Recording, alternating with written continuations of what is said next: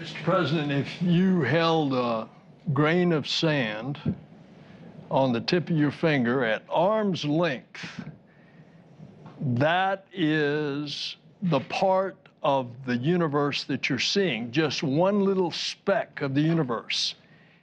Light travels at 186,000 miles per second, and that light that you are seeing on one of those little specks has been traveling for over 13 billion years. And by the way, we're going back further because this is just the first image. They're going back about 13 and a half billion years. And since we know the universe is 13.8 billion years old, we're going back almost to the beginning. There's another thing that you're going to find with this telescope.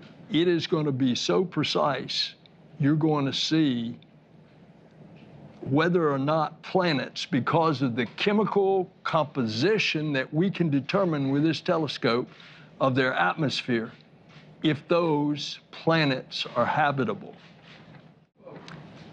And when you look at something as big as this is, we are going to be able to answer questions that we don't even know what the questions are yet. This is what's happening.